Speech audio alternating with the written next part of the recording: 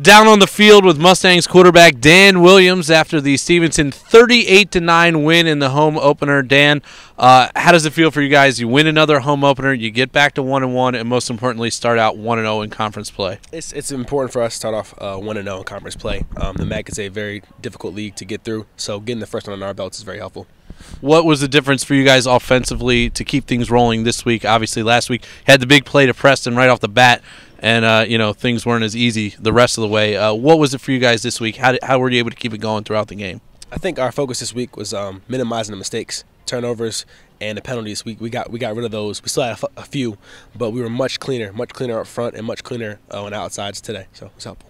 Uh, from a, just how how it plays out on the field. When you guys kick off, you know you're expecting to get the ball in a few minutes. What is it like scrambling when you get the ball right away? I mean, are people looking for their helmets? I mean, what is it actually like the process of getting on the field when you get a fumble on the first play of the game on the on special teams? For the most part, you hear uh, you hear turnover and you hear sudden change, and everybody's scrambling to get their stuff and get basically lined up and get settled in to what the call is going to be.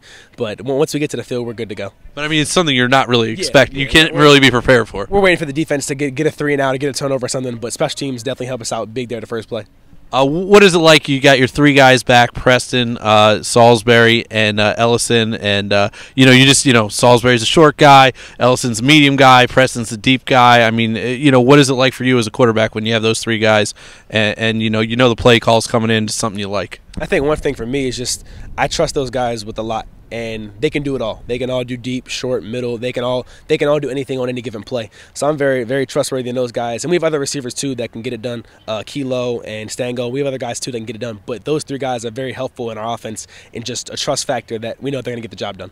Can you feel, um, especially with Preston, uh, you know that when you're watching him run a route, that he's just faster than the guy that, that's that's covering him? It's very hard to overthrow Preston. I'll say that. It's very hard to do that. He's one of the fastest kids I've ever played with, and he, he's a joy to watch on Saturdays. And you've played with some guys that are in Division One programs, so that's a lot to say. Yeah. Without a doubt, without a doubt. I've, I've, had some guys in high school who were up to level he is, but no one, no one has been faster than Preston. Wow. That's pretty impressive. Well, uh, what do you guys have to do to, to get ready for FDU Florham next week? I think we have to keep the same consistency. We have to build on the on the success we had today and limit the mistakes. Um, a couple runs we want back, a couple reads I want back. Um, so definitely things we can work on and watch the film and get better. But I think we just need to be consistent in our in our preparation.